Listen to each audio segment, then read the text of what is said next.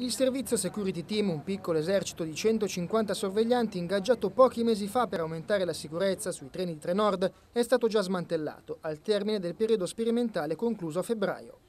Il servizio proseguirà come previsto, assicura comunque il sottosegretario regionale Alessandro Fermi.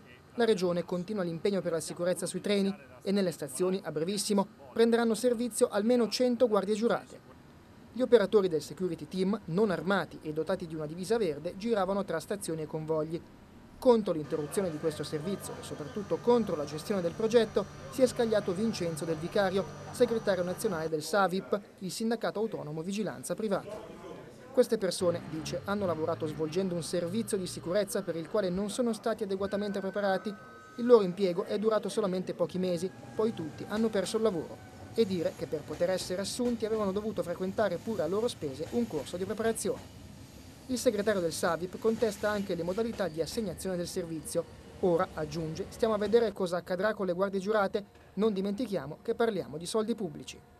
Il sottosegretario Fermi, che con l'assessore regionale ai trasporti Alessandro Sorte aveva presentato a Como il progetto, ribadisce invece la validità del servizio.